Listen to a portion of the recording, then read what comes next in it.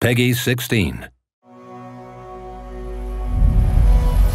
Ravenbound is an action-packed open-world roguelite set in a deadly but beautiful fantasy realm inspired by Swedish folklore. It's being developed by a small and dedicated team here in Stockholm. When making an open-world roguelite, it's like taking a traditional roguelite, but you tear down the walls, instead exposing the options and choices to players. A staple of Ravenbound and the roguelite genre is permadeath, so we've based a lot of our design around that we have implemented a card system. It's used to create synergies in your run and to make builds that cater to your playstyle. But as you progress, your deck of cards and its power will grow, so you will always start off the next run slightly better off than the one before. My name is Brooke, and I'm the lead combat designer on Ravenbound. The combat in Ravenbound is a fast-paced hack-and-slash melee roguelite.